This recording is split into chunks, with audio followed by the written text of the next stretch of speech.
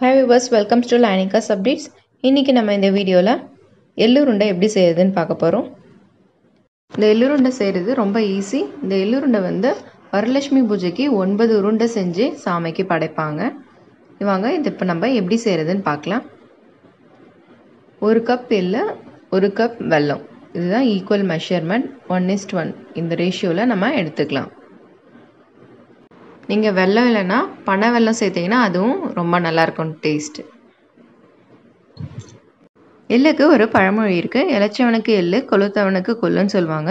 லீனாக இருக்கவங்களுக்கு இது மாதிரி கொள்ளு கொடுத்தீங்கன்னா அவங்களுக்கு ரொம்ப உடம்புக்கு ஹெல்த்தின்னு சொல்லுவாங்க. கருப்பு எள்ளில் ரொம்ப அதிகமாக இரும்பு சத்து இருக்குது வெள்ளை விட கருப்பு எள்ளில் தான் நிறைய அயன் சத்து இருக்குது இப்போ நம்ம எள்ளை வறுத்து எடுத்துக்கலாம். டெலிவரி ஆனவங்க கூட இது மாதிரி எள்ளை வறுத்து பொடி பண்ணி சூடான சாதத்தில் போட்டு பிசைஞ்சு சாப்பிட்டோன்னா பால் நல்லா கிடைக்கும்னு சொல்லுவாங்க.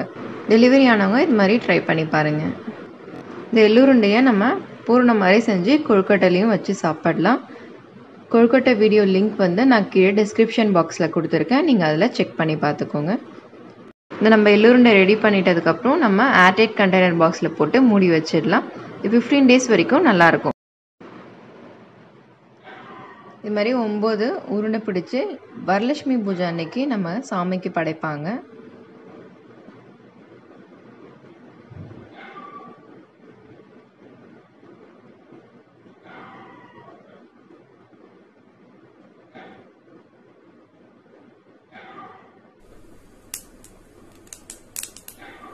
பாருங்கள் எள்ளு நல்லா ஃப்ரை ஆகிடுச்சு வெடிக்க ஆரம்பிச்சிருக்கு. இப்போ நல்லா ஃப்ரை ஆகிடுச்சு நம்ம ஐடென்டிஃபிகேஷன் பண்ணிக்கலாம். இப்போ நம்ம ஆஃப் பண்ணி நம்ம ஆற வச்சிடலாம். இப்போ எள்ளு நல்லா ஆறுனதுக்கப்புறம் நம்ம ஜாரில் போட்டு நம்ம அரைச்சி எடுத்துக்கலாம்.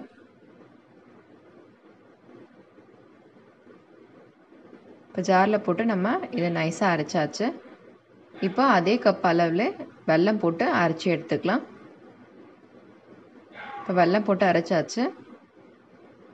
இப்போ நம்ம உருண்டை பிடிச்சிடலாம். சாமிக்கு வைக்கும்போது இது மாதிரி வெறுமனே உருண்டை பிடிச்சி வச்சுக்கோங்க. நீங்கள் சாப்பிட்றதுனா இதில் கூட இன்னும் நட்ஸ்லாம் போட்டிங்கன்னா இன்னும் ஹெல்த்தியாக இருக்கும்.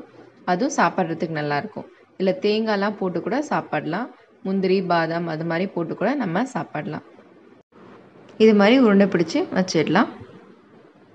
இது மாதிரி ஒன்பது உருண்டை பிடிச்சி வரலட்சுமி பூஜை அன்னைக்கு வைப்பாங்க.